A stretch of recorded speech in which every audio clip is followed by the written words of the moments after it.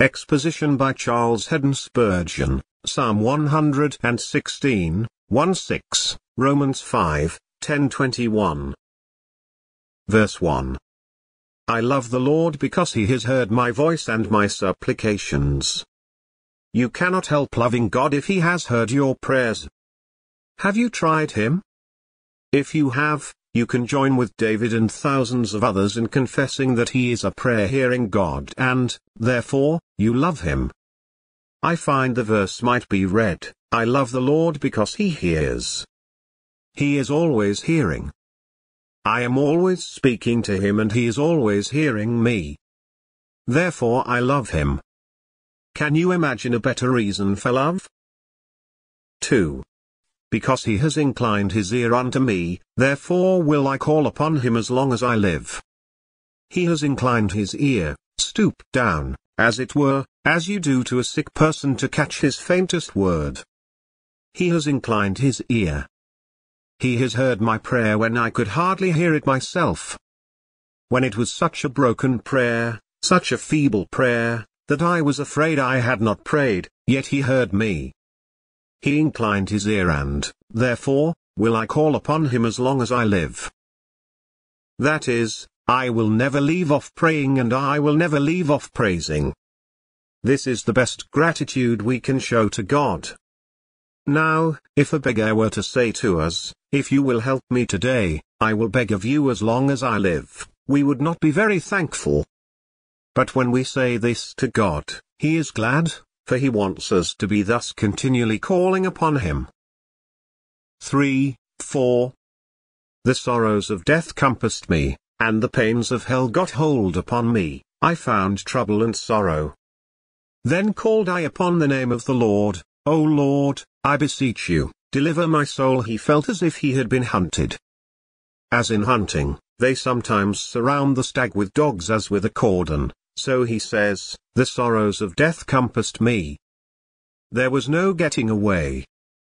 I was in a circle of sorrow.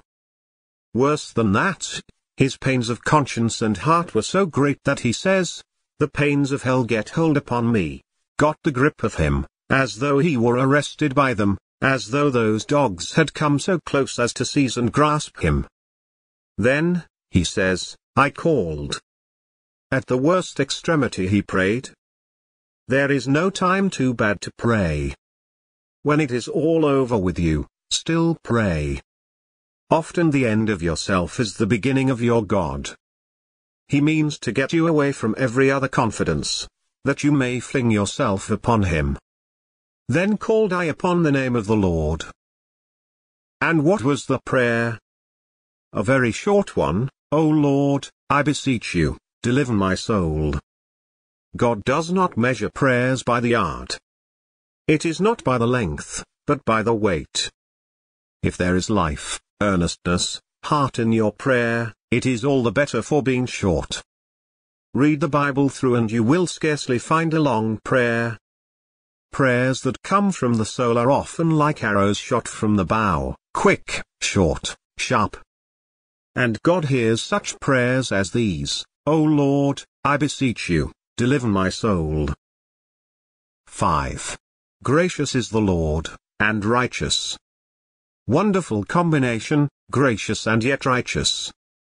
And if you want to know how this can be, look at Calvary, where Jesus dies that we may live. Oh, the sweet wonders of that cross, where God the Saviour loved and died where there was the justice of God to the fullest and the mercy of God without bound. Gracious is the Lord, and righteous. 5, 6.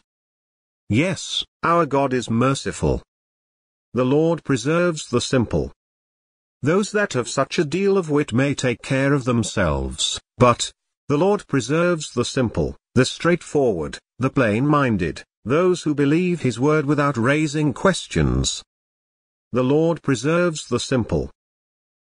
6. I was brought low and he helped me. Oh, many of you can say this, I trust, and if you cannot, I hope you will before long, I was brought low and he helped me. Romans 5, 10 21. 10. For if, when we were enemies, we were reconciled to God by the death of his Son, much more, being reconciled, we shall be saved by his life. This is a grand argument for the safety of all believers, having a threefold edge to it. If he reconciled his enemies, will he not save his friends? If he reconciled us, will he not save us? If he reconciled us by the death, will he not save us by the life of his Son? 11. And not only so the blessings of the covenant of grace rise tier upon tier, mountain upon mountain, Alp on Alp. When you climb to what seems the utmost summit, there is a height yet beyond you. And not only so. 11. But we also joy in God through our Lord Jesus Christ, by whom we have now received the atonement. Then he begins to explain the great plan of our salvation. 12.